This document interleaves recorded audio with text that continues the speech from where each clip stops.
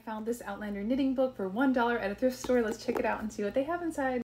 Okay, here it is. Let me see. Okay, I was looking through it and this looks so cute. It has all of the sort of Fair Isle um, charts that you might need, which is pretty cool. Um, more Fair Isle. They have these like 18th century style gloves. Not sure if I would make the tea cozy, but hey.